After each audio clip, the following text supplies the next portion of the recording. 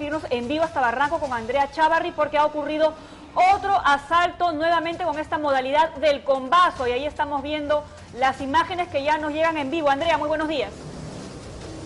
Así es, compañeras, muy buenos días. Observen cómo ha quedado esta mampara completamente destrozada. La, la, luna está hecha añicos. Y pues es que aproximadamente a las 4 y 30 de la mañana, tres sujetos bajaron de un vehículo negro aquí en la cuadra 15 de la avenida Grau en el distrito de Barranco e ingresaron de manera bastante violenta, rompiendo por completo esta mampara de una conocida empresa inmobiliaria para poder llevarse las cosas que estaban en el interior. Los sujetos se llevaron tres laptops, y eh, tomaron por sorpresa y amenazaron al guardia de seguridad que estaba en ese lugar, identificado como Gonzalo Inostroza.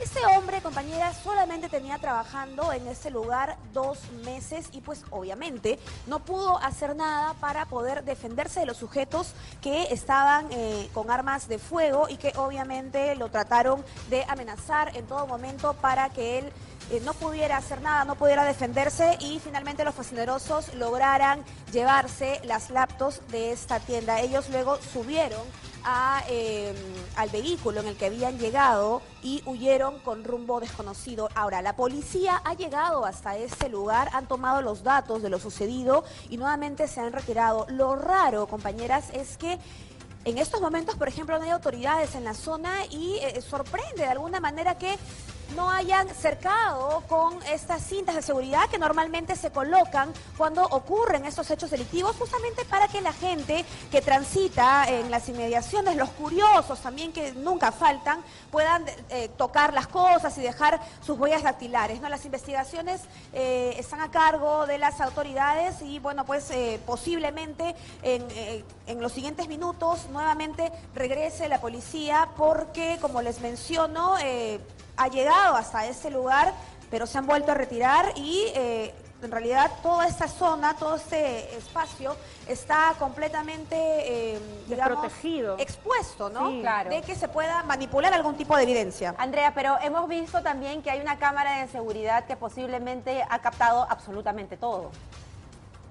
Exactamente, hay una cámara de seguridad y las imágenes van a tener que ser analizadas justamente por las autoridades para poder dar con la identidad de estos tres sujetos que, como les digo, a las cuatro y media llegaron a bordo de un vehículo negro y rompieron esta mampara de esta conocida inmobiliaria y se llevaron estas tres laptops. Ahora, Andrea, esta zona en donde se, está, se va a construir este edificio, me parece por las imágenes de tu camarógrafo que está ya muy cerca del límite con Miraflores, en donde justamente está la bajada a la vía expresa.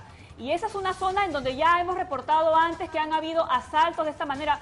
Acordémonos de este joven productor de cine que también vive muy cerca de allí y que fue violentamente asaltado también en la puerta de su casa y los delincuentes huyeron rápidamente tomando esta misma avenida y yéndose probablemente hacia la vía expresa. Es una zona que ya sabemos que es muy peligrosa y no sabemos por qué no se están tomando acciones para evitar que sucedan este tipo de cosas. Es un escape rápido. Exactamente. Ahí está, ahí está la bajada de la vía expresa. El delincuente toma esa salida y se va a cualquier lugar y ya imposible agarrarlo. Sí, compañeras, también hay que mencionar que justamente por lo que ustedes están comentando, no vemos la presencia a esta hora de la mañana de algún sereno que esté patrullando la zona, sobre todo teniendo en cuenta lo que ustedes mencionan y eh, teniendo este, este hecho delictivo que ha ocurrido tan solo a las cuatro y media de la mañana. Ustedes pueden ver que transitan los carros eh, públicos, carros particulares a esta hora de la mañana, sin embargo, no hemos visto desde que hemos llegado a un solo motorizado de serenazgo, de alguna manera resguardando la zona y ofreciendo seguridad a los vecinos o a las personas que transitan por esta vía. Y no hay ningún representante de la empresa inmobiliaria, Andrea. Todavía no llega. Está el guardia de seguridad que ha sido amenazado, que ha sido reducido, el señor Gonzalo Nostroza, pero como les menciono, él está bastante asustado, es lógico, por bueno, por lo que ha pasado en la madrugada y eh, no quiere ofrecer ningún tipo de declaración a la prensa, él está bastante reacio porque pues entendemos que también está muy asustado por lo que ha pasado y pues eh, únicamente ha conversado con las autoridades. Bueno, ahí te das cuenta cómo nada persuade a estos delincuentes, ¿no? Ni las cámaras de seguridad, ni la presencia del vigilante. En realidad ellos llegan, la cosa parece fácil, ya nos, nos ha contado la policía cómo es que estos actúan, calientan la comba en muchos casos para que este al contacto con el vidrio logre que se rompe rápidamente porque estos vidrios son estos vidrios templados, ¿verdad?